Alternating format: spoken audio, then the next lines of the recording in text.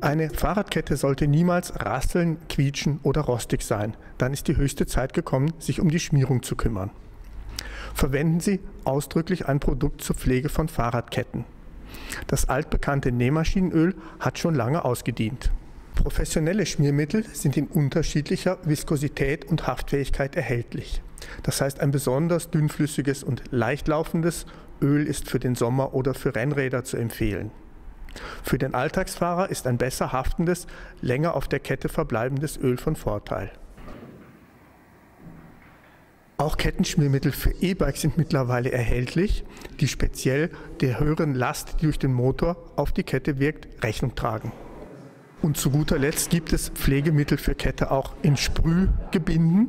Das macht dann besonders viel Sinn, wenn die Kette schon wirklich angegriffen oder rostig ist, weil diese Sprühmittel besser durch den Schmutz und Rost wandern.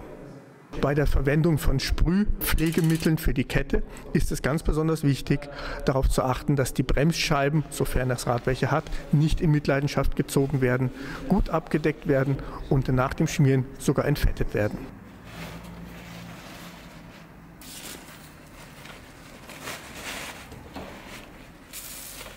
Die Fahrradkette richtig pflegen ist gar nicht so schwer. Das erhöht die Langlebigkeit vieler Komponenten und den Fahrspaß.